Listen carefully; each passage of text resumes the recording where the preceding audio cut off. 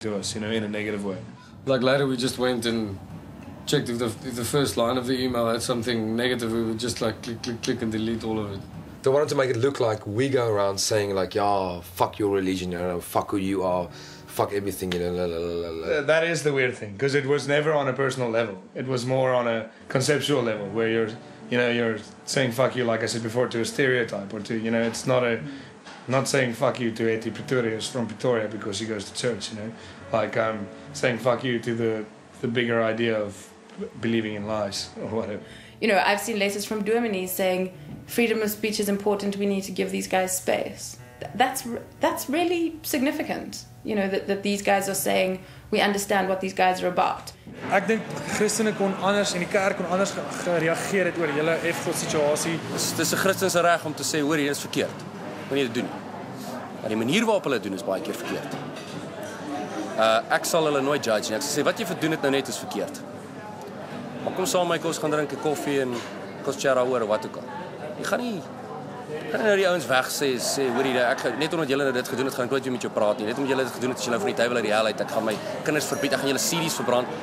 Jy weet Dis die ergste ding wat jy kan doen. En daar was heeltyd net um, geskrywer in die beeld en as jy net hate um, haatspraak teenoor mekaar en dit vir my die hardste want ek weet verseker um, as Jesus vandag nog mense as in op aarde en en, en geleef het was hy die eerste by daai klub en hy het die eerste bier gekoop dalk vir Wynand en gesê hy doen kom ons chat wat gaan aan sonder om enigsins 'n brief vanuit Kaap of die e-mail te sê ag gaan jy doodmaak of wat hulle doen is belaglik. Ehm um, so dit was my die hardste. Daar was my glad die liefde in dit nie. Mense het toe ek by beeld gewerk het baie keer ingebel tannies wat vir jou vra wat se tipe mens skryf fok God op 'n kind se beursie, jy weet? Again, I don't think God needs us to defend him, you know. I mean, sure, we need to fight for what's right in a sense, but I don't think we need to get so worked up about about something that's actually offending us more than anything. They don't mind me not believing in the same God as what they do, you know. They don't. Uh, most of them probably um, understand the fact that that thing was thrown out of proportion and is bullshit, you know. Hulle wil nie hoor hoe jy hierdie catchphrases gooi en sê Jesus loves you and what will Jesus do en uh, you know sulke goed nie. Hulle wil hulle wil hê jy moet Okay. So uh, wil jy hoor wie ek is? Wil jy weet wie ek is? Of wil jy net vir my vertel wie ek nie is? I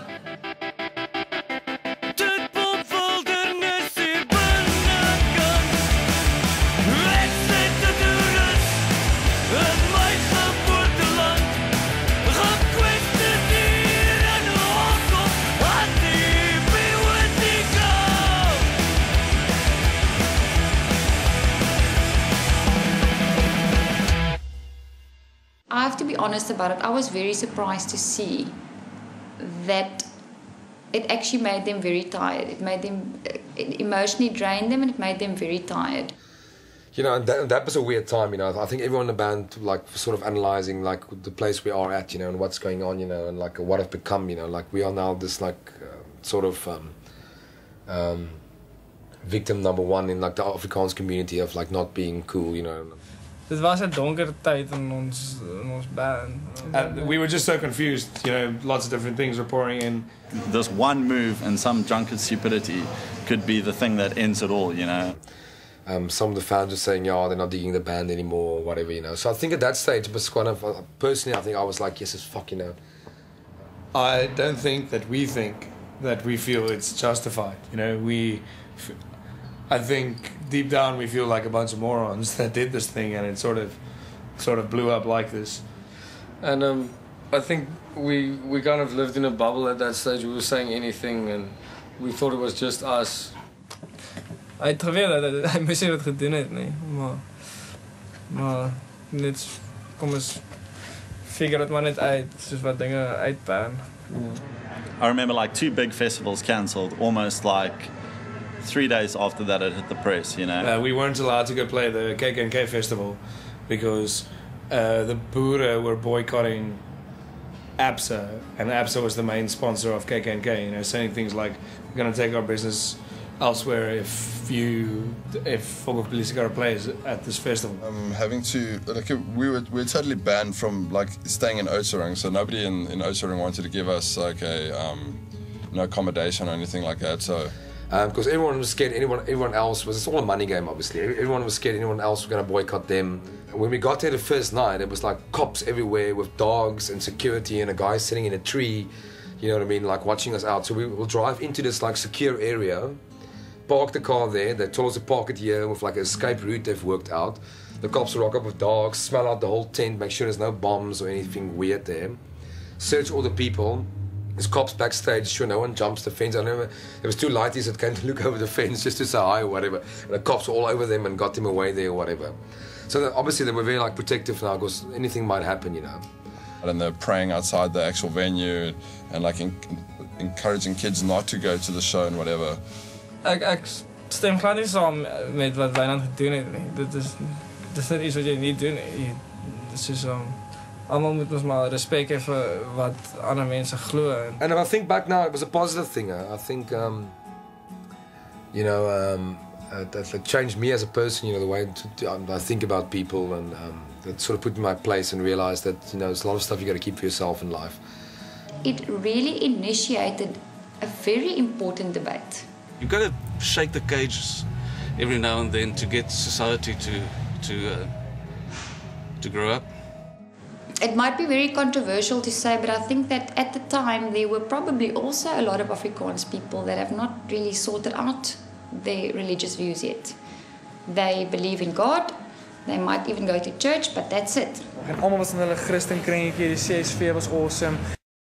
Jy was in jou bubbel gewees. Maar vir die eerste keer het iemand gesê, kan iemand dalk God bel en vir hom sê ons het hom nie nodig nie. Wat mense dadelik laat dink, wow, maar Jessie, dalk het ons nie God nodig nie. En wat dit doen is, dit sit dude op 'n journey. Dit het my op 'n journey gesit van wow, is hier regtig God met hierdie awesome band sê dit. So kom ek vind vir myself. So ek dink dis dis wat cool was en dis wat cool is om te gebeur. Is mense aanvaar nie net sommer goed nie. Mense gaan in die Sondag kerk toe en 'n ding word gesê en dan vat jy dit. Die mense gaan question dit. Die mense gaan op 'n missie met die Here. And contrary to popular belief is ons actually nie so apaties of hard of punk of of ehm um, swart skaap soos wat mense dink ons is nie. Ehm um, ek dink ons het dit gedoen om om uiteindelik 'n positiewe verandering te maak, jy weet, maar om dit te doen is jy weet dis hoekom ouers hulle kinders pak slag gee of wat ek al jy weet om daar uit te kom is daar baie keer 'n rude awakening nodig. obviously after this whole religious debacle, I think even before that, you know, touring constantly and, um, you know, always being around each other, you know, never having a holiday, and then, you know, me breaking my arm. I think everyone was quite tired then, and I think Hunter sort of started integrating that in his writing as well, and he was playing with this idea of, you know, um, calling the band quits. It's like they packed in 10 years of, uh, of events into three years. You know, imagine playing the same 12 songs every night. And then you go out and you party. And you party, party, party hard until 4 5 o'clock in the morning. You do that for two years, you're going to burn out. and um, we we had a meeting and we decided that uh, we'll take a break. You know, I mean, we, we decided to uh, call the album Swan Song, and you know, putting putting uh, sort of race to a to an era, and then taking a break and then seeing what happens. You know.